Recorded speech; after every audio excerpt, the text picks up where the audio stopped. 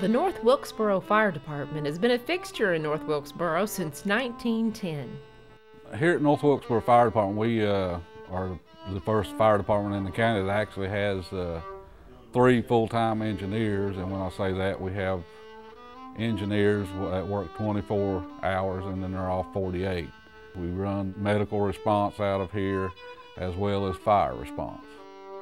You have uh, qualified trained personnel uh, directly on the scene uh, that, that, can handle uh, most emergencies and, and, and, save lives and, and, get, get them uh, to uh, the hospital and to doctors. It's also a very busy fire station. Presently, we're running a little over 700 calls a year, where back when I first started, it was, uh, say, anywhere from 60, 70 to maybe 100 calls a year. But with the inception of a medical responder program and first responders, that has increased the call volume for not only my department here, but departments all over the county. And at the North Wilkesboro Fire Department, they handle those calls very successfully. Presently, we're uh, one of the lowest rated fire departments in the county. Uh, we take pride in having a, a low uh, fire department rating, which in turn means lower insurance premiums for uh, especially the uh, businesses.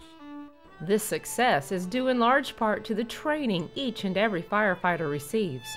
You know, I was a training officer here for several years and trained these young guys coming in, and that's one of the highlights of my career. People that volunteer to be firemen don't need much encouragement. You know, you just have to direct them and they do it. Never was that training more beneficial than during the Forest Furniture Fire in 1963. You know where Melody Square's at?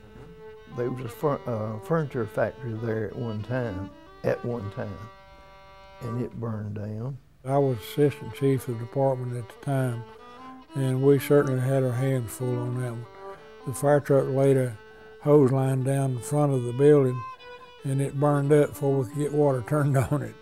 So, you know, it show you how hot the fire was even out in the street.